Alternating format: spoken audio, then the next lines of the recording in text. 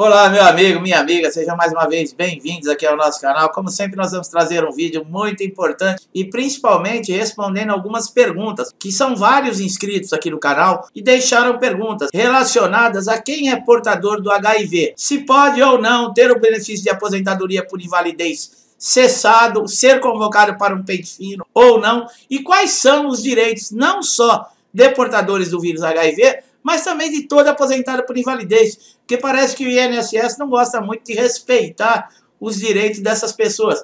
É necessário ter carência? Como é que funciona? São todos os tipos de doença que podem aposentar por invalidez? O adicional de 25% é para todos aposentados por invalidez? Quem tem direito à aposentadoria por invalidez ou não? Existem doenças específicas que somente da pessoa ter a doença, ela já pode se aposentar por invalidez? Pois é, nós vamos falar sobre todos esses assuntos aqui no vídeo. Então é muito importante que você acompanhe até o final para ter conhecimento de todas essas informações. Como nós sempre falamos, conhecimento é algo que ninguém tira de você. E a partir do momento que você tem, para alguém te enrolar ou te enganar, fica muito mais difícil.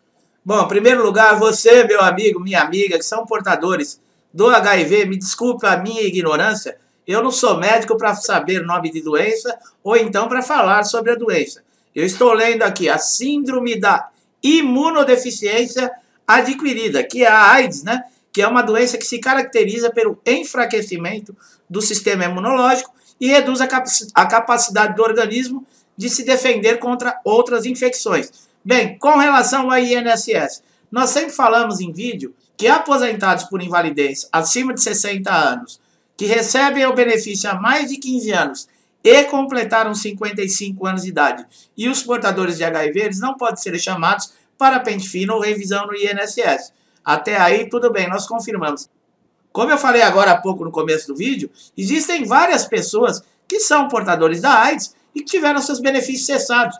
E aí, a doença em si, ela já é um agravo para que essas pessoas tenham garantido, por exemplo, ou auxílio doença, ou mesmo a aposentadoria por invalidez. Uma coisa que nós sempre falamos, pessoal, o que caracteriza o afastamento para um perito do INSS, veja bem, eu não concordo com isso, tá?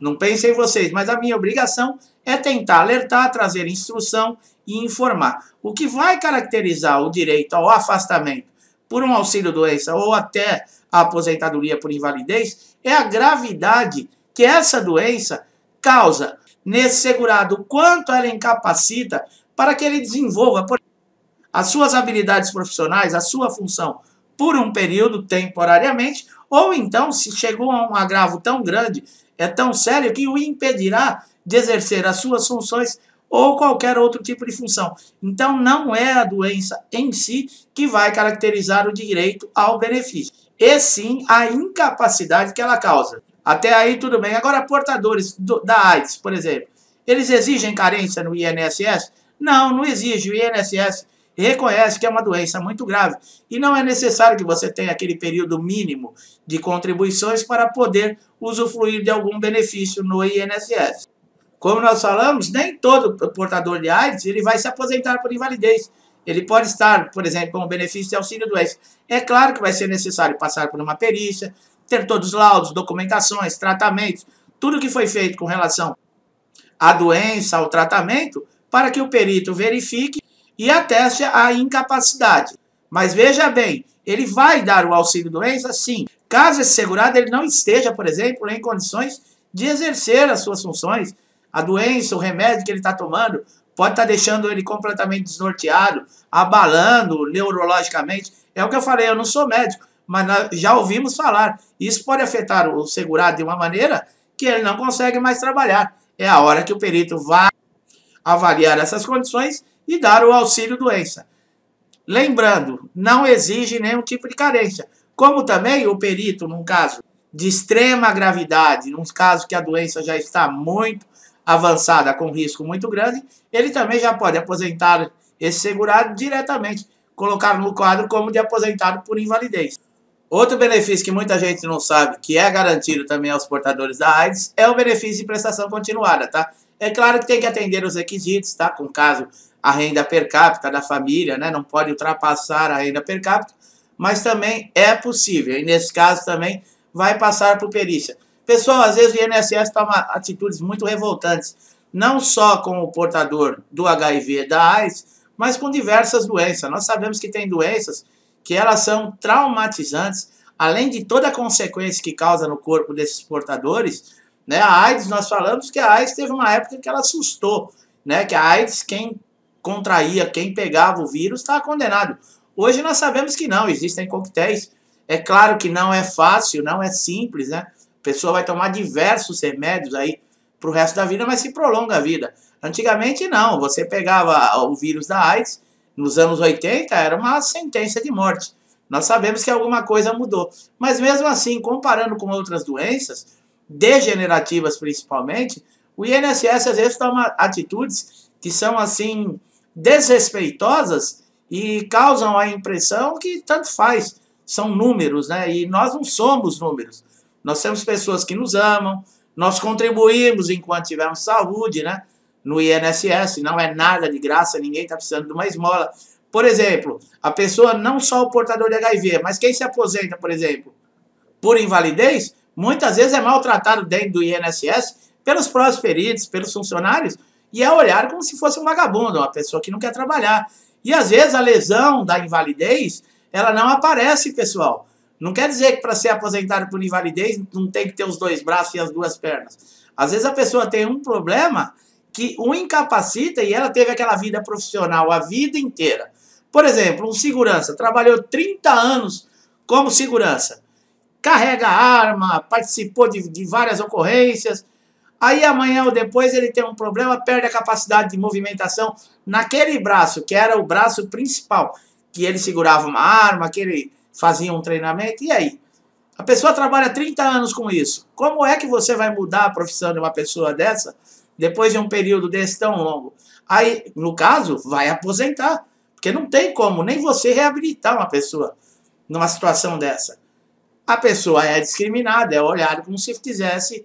E não é uma pessoa que contribuiu enquanto teve saúde, trabalhou 30 anos, contribuiu lá os seus 30 anos. Aconteceu um problema grave, inesperado. É para isso que existe o INSS. Nós não cansamos de deixar bem claro isso. É como se fosse um seguro que você está pagando. Se você não utilizar, depois de um certo período, você começa receber os benefícios que você pagou. Se caso aconteça alguma coisa com você, você tem direito a continuar tendo uma tranquilidade para garantir a, a, o sustento da sua família, pagamento das suas contas. É para isso que serve a Previdência Social. Não tem a finalidade de dar vida boa, pagar altos salários para a classe que a, a, administra a Previdência Social e nem mesmo para peritos. Não é essa a função. Os portadores, por exemplo, que são aposentados por invalidez, que precisam do adicional de 25%, quem são? São aquelas pessoas que não têm nem condições de cuidar de uma casa e muitas vezes moram sozinhos. Não tem quem vai cozinhar, quem vai lavar, quem vai passar. E a pessoa não tem condições de, de fazer nada. E ela precisa desse adicional de 25% exatamente para ajudar a pagar um cuidador, para ter alguém que possa lhe dar atenção. Porque muitas vezes a família mora num outro estado, mora longe, ou muitos nem têm mais família, não tem mais contato com parente. E aí, o que, que você vai fazer com uma pessoa dessa? E tem cabimento o INSS discriminar uma pessoa? Assim, não tem condições. É por isso que muitas vezes nós vemos nos veículos de comunicação e principalmente na internet reclamações e todo segurado está reclamando, 99% tem razão daquilo que está afirmando. Agora é aquilo, né? Quando seus direitos não são respeitados, quando as pessoas até te discriminam, a justiça também existe para isso, pessoal. Não pense duas vezes, tá? Recorra à justiça para garantir os seus direitos. O seu caso, por exemplo, você que é portador do HIV, você não tem mais condições de trabalhar. O perito insiste em lhe dar dois, três, quatro meses de auxílio-doença. Entre na justiça. Continue renovando, fazendo pedido da prorrogação do seu benefício para você não deixar de ter uma renda mensal e entre na justiça pedindo a sua aposentadoria por invalidez. Tudo isso está regulamentado em lei, pessoal. O INSS não faz essas coisas que é bonzinho, porque, ah, porque quer ser caridoso. Não. Tudo isso é lei e a lei tem que ser cumprida. Quando a lei é desrespeitada, não é cumprida, resta o quê? Correr atrás dos órgãos capazes de reverter e fazer se cumprir o direito, que é a justiça. Vá até a Justiça Federal, contrate um advogado ou você mesmo pode entrar com recurso, mas não perca tempo, não fique insistindo. Não queira ficar discutindo com o perito, não queira ficar discutindo seu problema com um funcionário, que eles não vão resolver nada, vá direto à justiça. Você, meu amigo, minha amiga que estão chegando aqui pela primeira vez, esse é o nosso trabalho, como eu falei, é uma informação importante, pode ter certeza que tem muita gente precisando dessa informação. Gostou do nosso trabalho? Não deixe de dar um likezinho aqui no vídeo, se inscrever no canal, ativar o sininho de notificação para sempre receber nossos novos conteúdos.